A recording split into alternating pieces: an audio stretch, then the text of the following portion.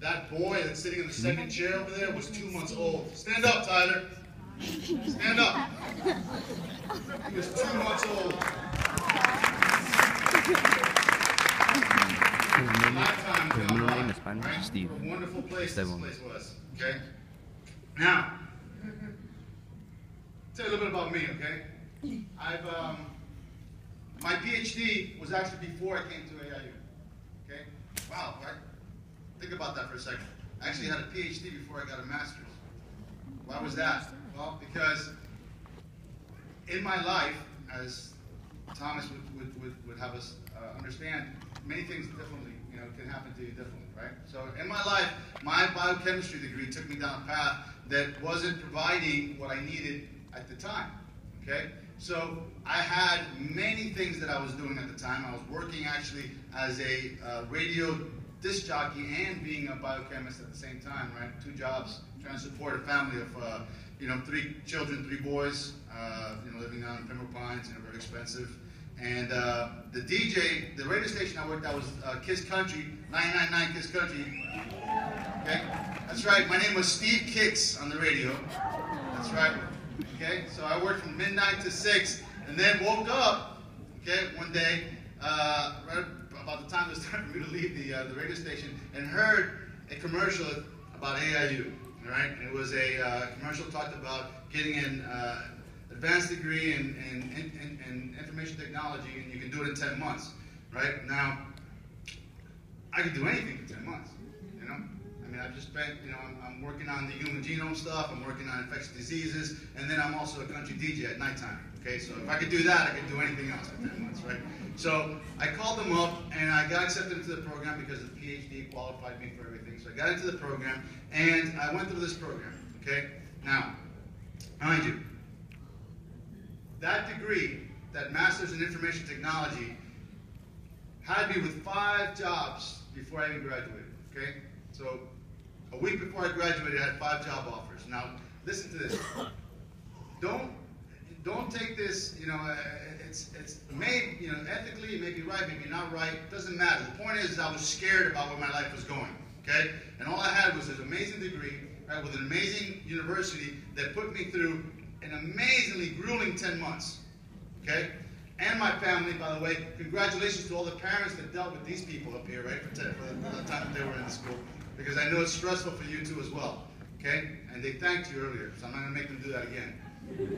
Okay? So, when I left, I decided to take all five job offers. I staggered them.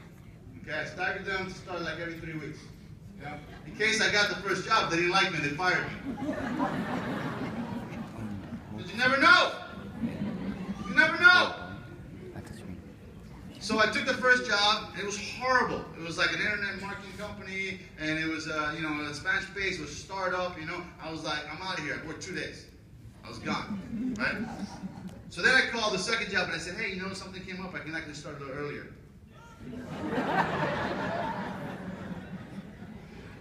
That was that, that was American Express. So, so I started with American Express as a developer. Um, that first job, by the way, paid three times as much as my biochemistry job was paying. Okay, uh, in IT, and um, I thought I was robbing the bank. you know, because I was like, I was like, wow. I was like, I'm not supposed to be making this. but I did, you know. And then they kept promoting me because the experience that I brought to the table was such that it seemed as if I had years and years and years of experience in IT because of American Intercontinental University.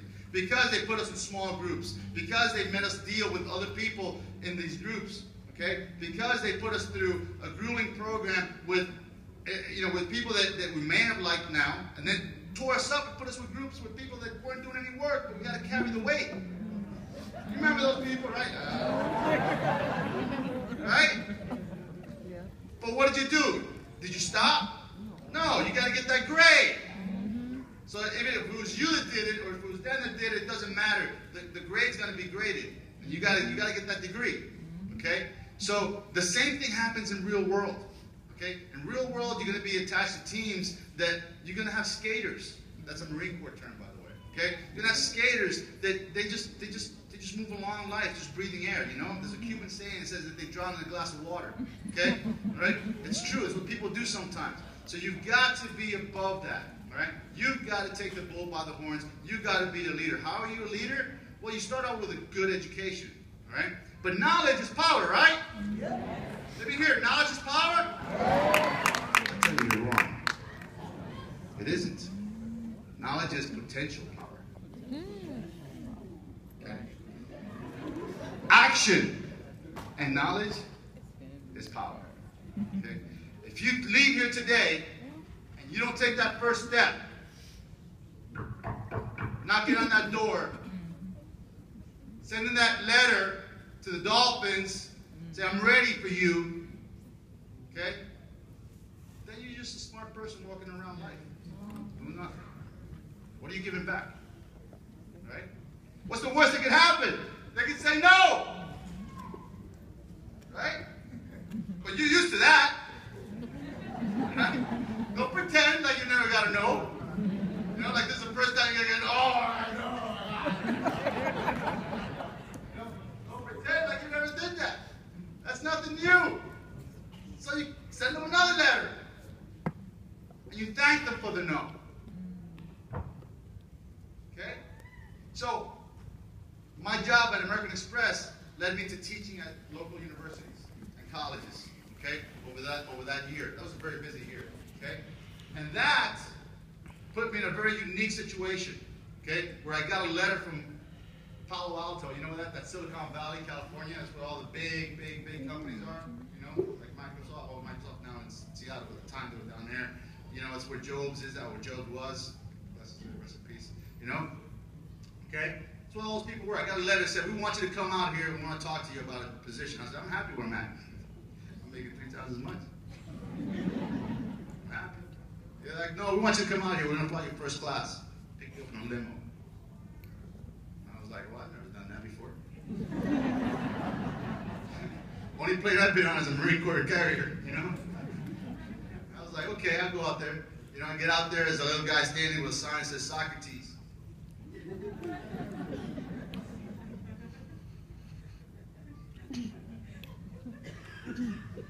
Picked up my bags and everything. I told I was like, no, I got it. I'm a big guy. I. No, he's like, no, I got it.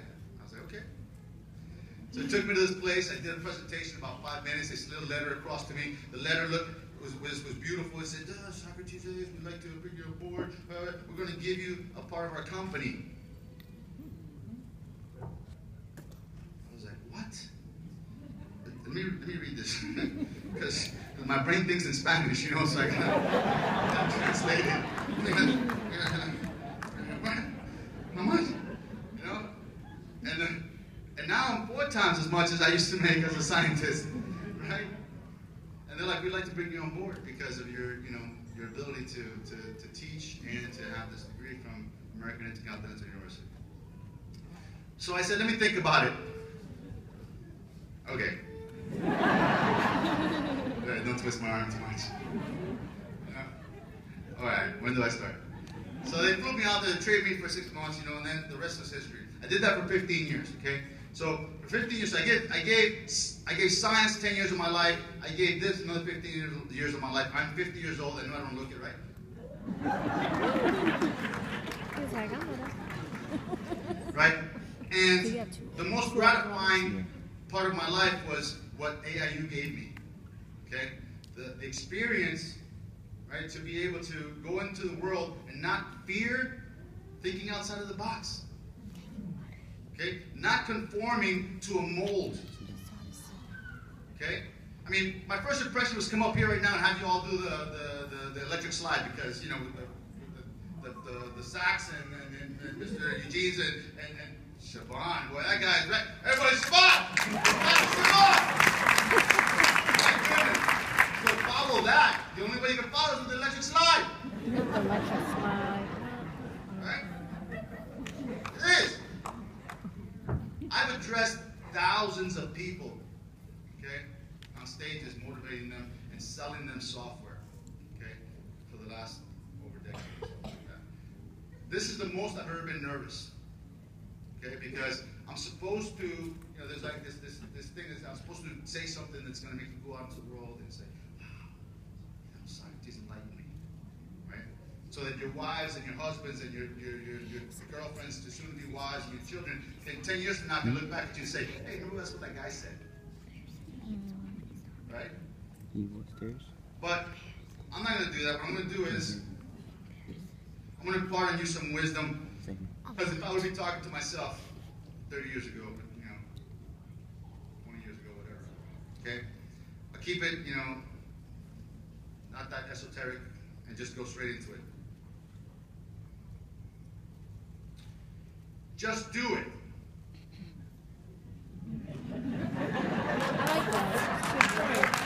that's not me. Wait, no, no, not seriously. Sorry, sorry, sorry. No, really. no, no, really, seriously, seriously. All joking aside, do it. Okay, whatever it is that you have in your mind, you set aside. Just do it. Okay, all right. Don't talk about it, because talking about it loses the one only commodity that you can't control, and that's time. When time is gone,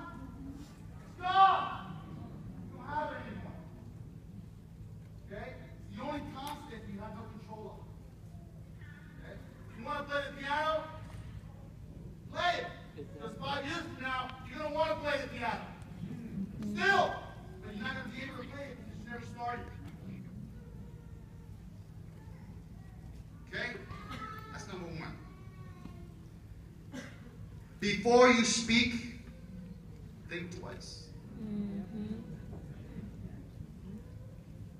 And then, when you've thought about it, and you know what you're going to say, just shut up.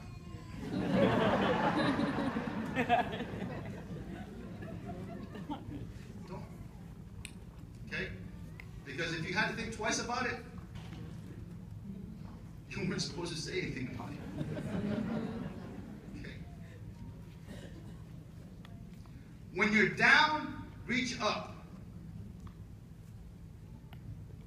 Boom! That was it. Blew your mind, right? When you're down, reach up. Let's apply that first, obviously, to the, to the most obvious one, right? When you're down, reach to your Creator, mm-hmm. right? Whether it's God, Allah, Buddha, okay? I'm not religious, specific, you know? I don't hate nobody, okay? Right? Reach up, right? If you don't have that, reach up to somebody in your in your organization. Coming up with an organization, reach up to somebody who's doing exactly what you want and ask them. Say, how are you doing that? Tell me. Give me a hand. Help me with this. Tell me what I need to do, right, to better myself. The way that Thomas reached out to Sivan, right? And said, hey, I need to get into this place. What do I do? Okay? You'll be surprised how many people, even right now, the connections that you made, okay, that may take off, and later on, you may reach out to them and say, hey, I need a little help. And they'll say, "These- take follow these steps. Okay? So when you're down, reach up. And when you're up, reach down. Okay? Give back. Dude, you know, I don't know any of my friends, right, that are successful. And by me successful, I mean have money? Right? Not happy successful, I mean like really rich. Because money isn't everything, but you know, it's like up there with oxygen. Um, that's Zig Ziglar. Um, okay? But having said that, reach down because nobody wants to be there by themselves. Okay? Nobody wants to, you know, take trips and family and vacations and stuff like that without having people to love with them. Okay? Nobody that is wealthy, okay, I don't care what you think, is stingy enough to not help down. They always give. Okay? So don't be that guy. The more you give, the more you get back.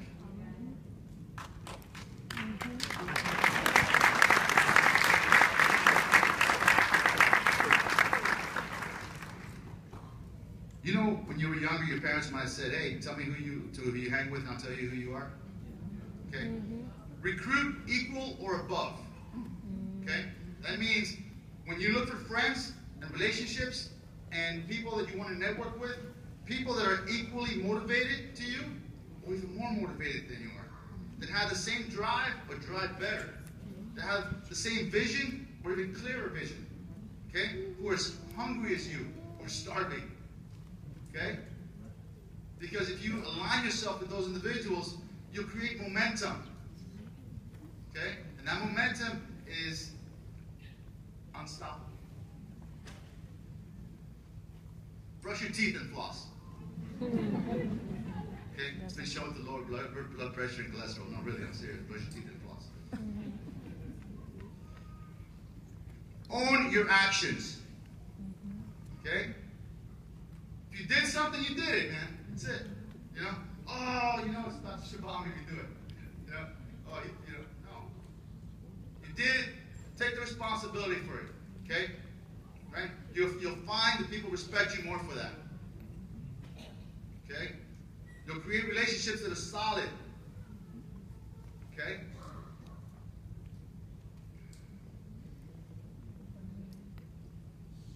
Decide and commit to quality fuel every day.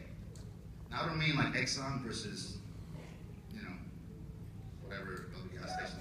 You know, you know. I'm talking about the fuel you put in your body. Okay? There's an 80-20 rule. It's all about, you know, it's, it's more nutrition than it is working out. It's true. I used to be 280 pounds. Look at me today. Okay? All I did was change the way I ate. Okay? Get rid of processed foods. Uh, um, carbonated beverages. Slow down your red meats. Or get better quality red meats. Okay? Mm-hmm. Because you know what they're feeding the red meat? The same garbage that they're feeding you with the processed foods. So you gotta get you know, you gotta think above that. Okay? Read the label. Stay away from GMO, irradiated, and synthetics. Okay? If it was made by man to put in a food, what the heck is that about? It's all logical, guys. Logical. Right? If you're not feeling well, it's because it's your fault, right? Own it. I'm telling you, I own it. Okay? If you're not happy right now, it's because of you.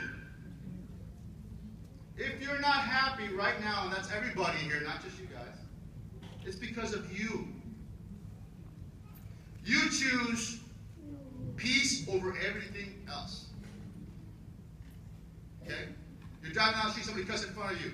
Ah! Or you can say, whatever, have a nice day. Right?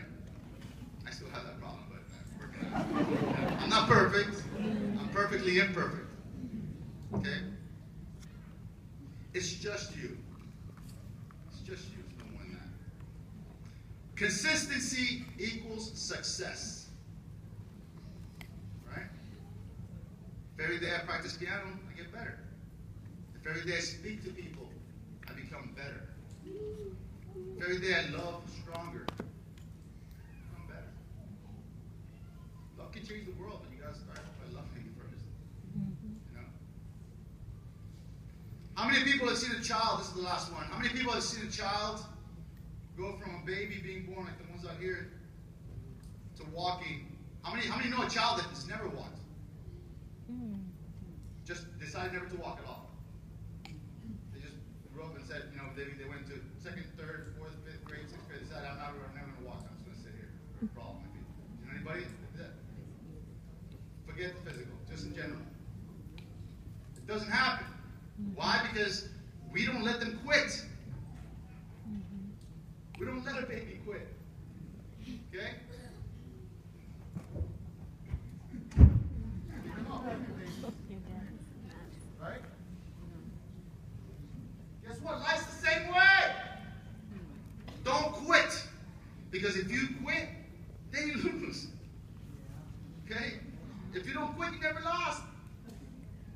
You know? It goes like that in everything in life. You, you can go buy commodities today, right? You get a bunch of potatoes, right? Okay, the price goes down. Did you lose anything? No, you still have potatoes.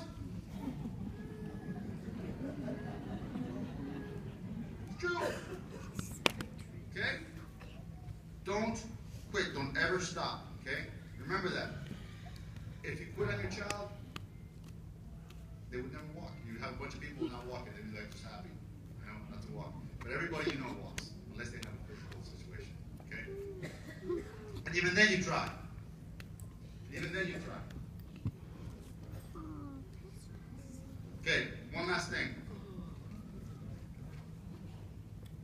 America needs a university. Mm. Who's ever looked at the, those words in conjunction together? Who's ever put it together and wondered why is the word intercontinental in there? Well, I started thinking about that last night. First time in like 20 years, right? And I said, well, what does intercontinental really mean? Why is it in my university's name? Okay? Well, Merriam Webster says that uh, intercontinentals, they have two. I'm going to go through both of those. It extends, extending among continents or carrier between continents. Right? And I was like, okay, that makes sense. That's what I thought it was. And then I said, well, let me look at what the word continent means. So I started looking at that, and there's an archaic term for the definition of continent. And it means something that serves as a container or boundaries.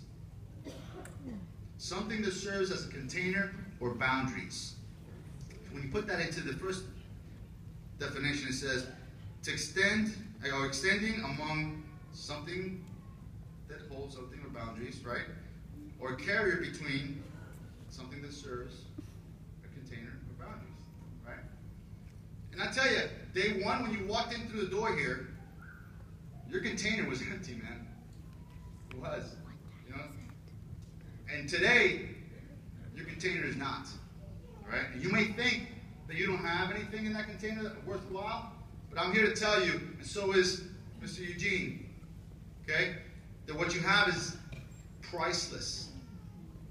Okay? If you follow, if you can read between the lines and hear what we're saying, okay? It is priceless.